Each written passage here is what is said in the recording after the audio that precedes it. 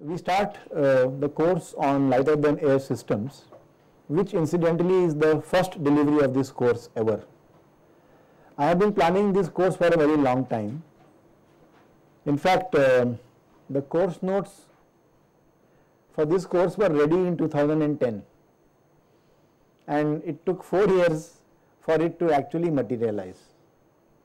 So, let us first look at a basic description of what this course is about and what we intend to cover.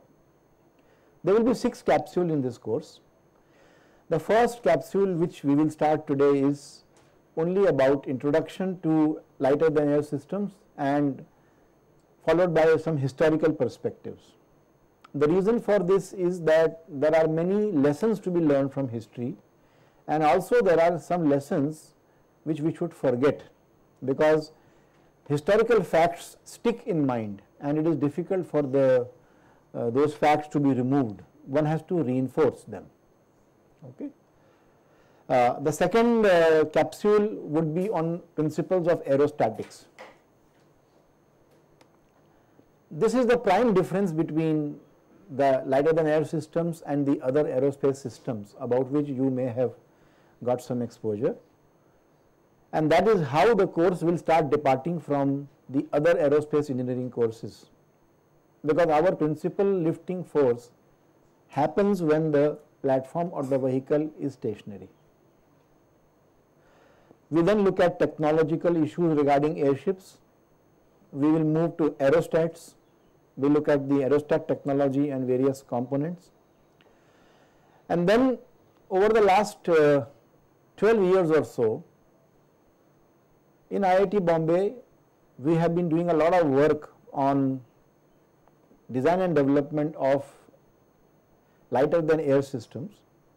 And by the way, this word will be abbreviated into LTA from now on because it's a very mouthful word. So, lighter than air basically is LTA. So, we have done a lot of work on developing, deploying, testing several LTA systems. So, we will showcase that work to you. Uh, and then finally we end the course by looking at what's happening globally and what trends are emerging for the future. Okay. So, these are the 6 capsules which I broadly thought we will be able to cover. Uh, the first capsule will have 3 main elements.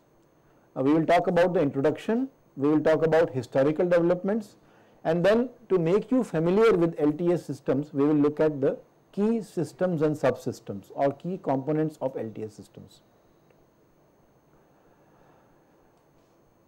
The next capsule will be on the basic lift generation system which is aerostatics. So, we look at uh, atmospheric properties, they affect a lot in our uh, system. We look at methods for estimating static lift and how the ambient conditions like pressure, temperature, humidity, exposure to uh, hot conditions or cold conditions for a long time, how do they affect the lift generation? It is important because atmospheric properties play a major role in the ability of LTA systems. And then we look at some concepts uh, and methods to estimate the performance of these systems during climb descent and we also look at the concept of pressure height. Moving on to airship technology, we start by looking at how we can design or size a typical airship given the operating requirements. Little bit of um, aerodynamics and stability, not too much, little bit of aerodynamics and stability to get a hang of what is happening and how it is estimated we will then move on to ground handling systems and mooring systems which are very special uh, requirements in LTA systems. In the past we have done some case studies on airship operations and design and finally we look at the design and development of airships. The next capsule would be on aerostat technology in which once again we look at methodology, but now we focus on aerostats.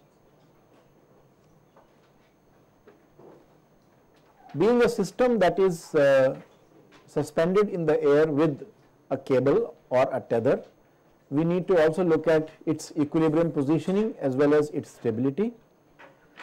And then as I mentioned, we showcase what we have done and also look at how other people have designed larger aerostats.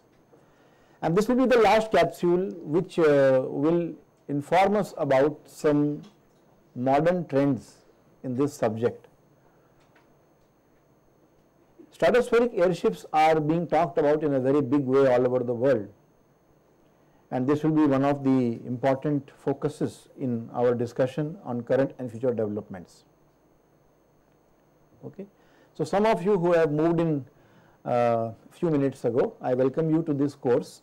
I will just uh, quickly recap on what we have discussed so far.